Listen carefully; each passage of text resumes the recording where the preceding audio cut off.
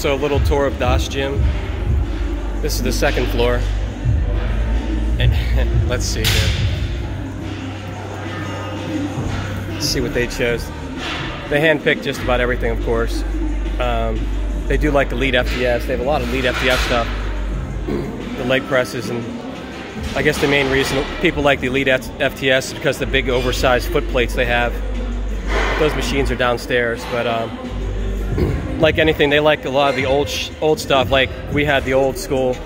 They have some some gener- uh, stuff here too, but they have old Schnell. Of course, like the new Schnell isn't any good apparently to them. So they have some hand-picked Schnell stuff from uh, 70s, 80s, 90s, and there's some other uh, old Gym 80 stuff that you know, is probably better than a lot of the current stuff.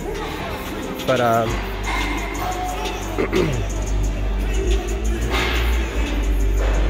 just some typical hammer strength pieces. They were showing me some of the. Uh, these are some old school giant cams.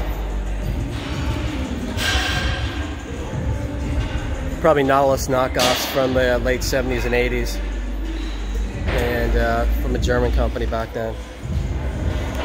So, Galaxy Sport.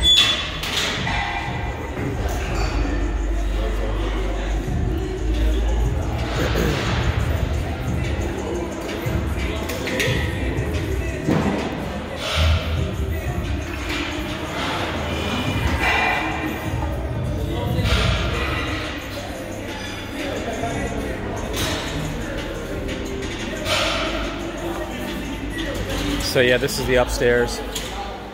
And uh, where all the no bullshit stuff is on the second floor. Have some Elite FTS. Some big reverse leg curl from uh, seated leg curl Gym 80. Man, that's a big belt. Hmm. Some really old Schnell they have some really cool uh, resistance boxes. Solid. But uh, they don't do that with uh, Gym 80 anymore, or Schnell.